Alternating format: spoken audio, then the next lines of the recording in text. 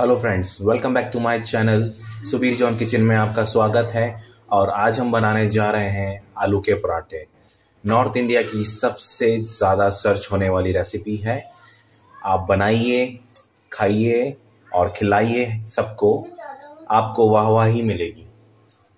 इस रेसिपी के लिए हम ले रहे हैं पाँच उबले आलू, ज़ीरा और धनिया।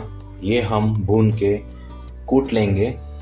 कटा हुआ हरा धनिया और हरी मिर्ची, दो प्याज, एक टुकड़ा अदरक का, नमक स्वाद अनुसार और थोड़ी सी लाल मिर्च। इस बात का ध्यान रखिए कि हम हरी मिर्च भी डाल रहे हैं तो ज़्यादा तीखा नहीं हो, बैलेंस बना रहे और थोड़ा सा अमचूर पाउडर।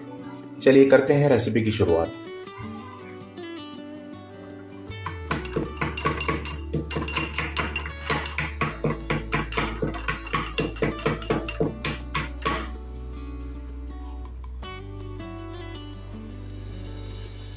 देखिए फ्रेंड्स ये हो गया है जैसा हमें चाहिए था। फ्रेंड्स यहाँ आप देख रहे हैं, प्याज मैंने काट के रख लिए हैं, अदरक को मैंने बारीक काटा है, साथ में मैंने यहाँ ली है अजवाइन, जो कि स्टमक के लिए बहुत अच्छी होती है। अब रेसिपी में मेरा ये टूस्ट रहेगा कि मैं इन प्याज को भूनूँगा तवे पे और फिर आगे यूज़ करूँगा।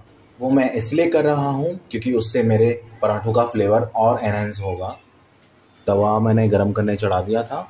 अब मैं इसमें डालूँगा देसी घी। अब मैं इसमें डालूँगा प्याज।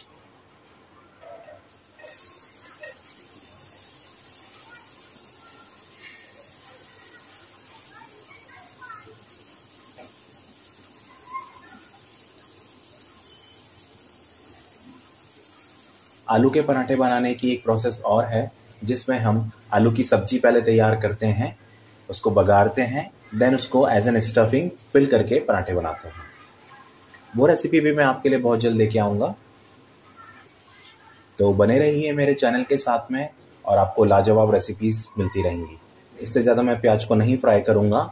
यहाँ पर आप देख रहे हैं, इसका कलर चेंज हो गया है, थोड़ा सा पिंकिशपन पे आ गया है, और यही मैं चाहता था ताकि फ्लेवर अपना अच्छे से प्याज छोड़ दे। सो so फ्रेंड्स हमने यहाँ आटा ले लिया है और अब आटे को गूंदेंगे हम यहाँ पर सिर्फ़ नमक के साथ में। स्टफिंग हम बाद में फिल करेंगे। और ये इस बात का ध्यान रखिए कि आपका आटा ज़्यादा पतला नहीं होना चाहिए, वरना आपके पराठे फटने लगेंगे। आटा हमने गूंद लिया है। चलिए अब करते हैं हम स्टफिंग की तैयारी। सबसे पहले इसमें डाला है मैंने प्याज। अब इसमें जाएगी अजवाइन। और बारीक कटा हुआ अदरक। इसके बाद में हम डालेंगे इसमें कटा हुआ धनिया और हरी मिर्ची। अब हम पटेटो को मैश करके रखेंगे इसमें। आप देखिए, यही तरीके से हम मैश करेंगे।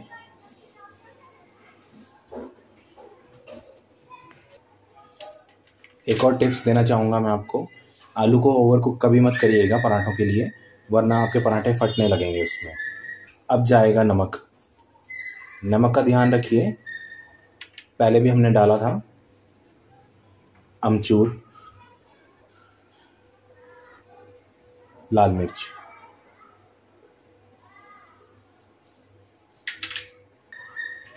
अब इसे अच्छी तरीके से मिक्स कर लेंगे।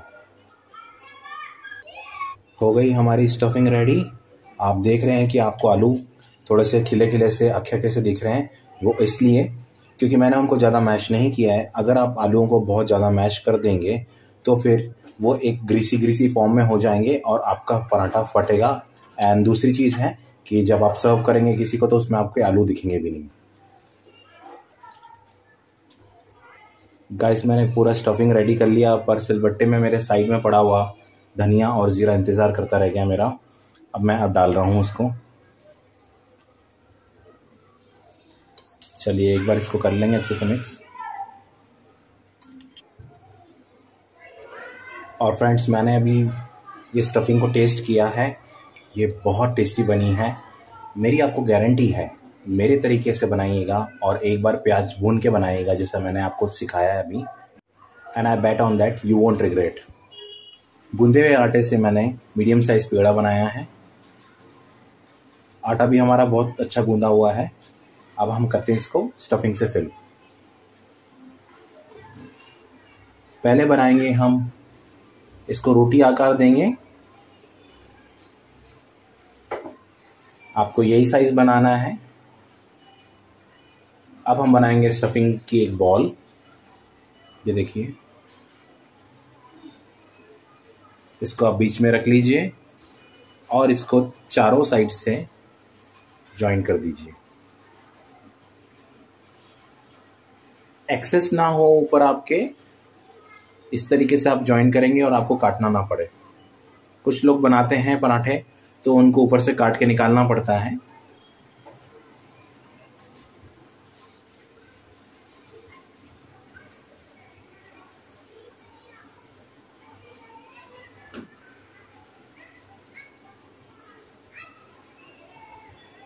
देखिए फ्रेंड्स बेल के हमारा पराठा रेडी हो चुका है।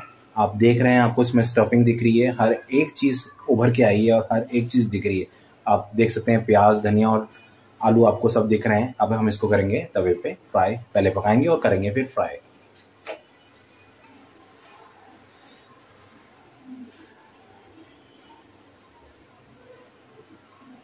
दोस्तों, देखो, बन रहा है टेस्टी पराठा।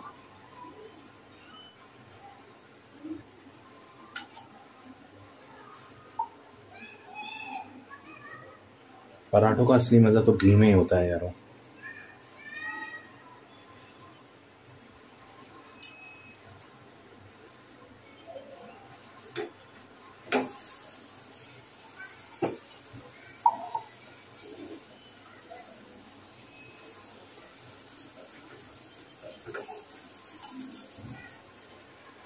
गाइस पराठों में घी अच्छे से लगाइएगा, टेस्टी बनते हैं और क्रिस्पी बनते हैं।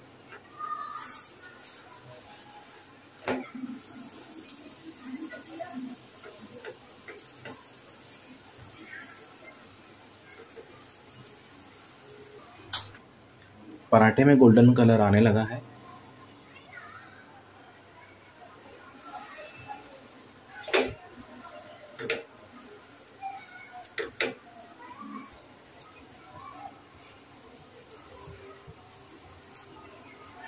सो so गाइस लीजिए, ये हमारा पराठा रेडी हो गया है।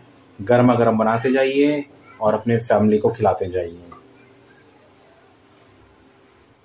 सो so देखिए फ्रेंड आलू के पराठे स्वादिष्ट टेस्टी एंजॉय करिए इन पराठों को। अचार के साथ में, लस्सी के साथ में और मक्खन के साथ में। अब मेरी रेसिपी अब आपके पास में है और आप इसका फ़ायदा उठा सकते हैं। बनाइए नाश्तों में लंच में डिनर में और वाहवाही बटोरिए और गाइस प्लीज़ इस वीडियो को शेयर करिए, दबा के शेयर करिए अपने फ्रेंड्स एंड फैमिली में। जिन लोगों ने हमें सब्सक्राइब नहीं किया है, वो प्लीज़ सब्सक्राइब करिए। चलिए फ्रेंड्स मिलते हैं आपसे बहुत जल्द एक नए वीडियो के साथ में। तब तक बने रहिए हमारे चैनल के साथ में। Take care bye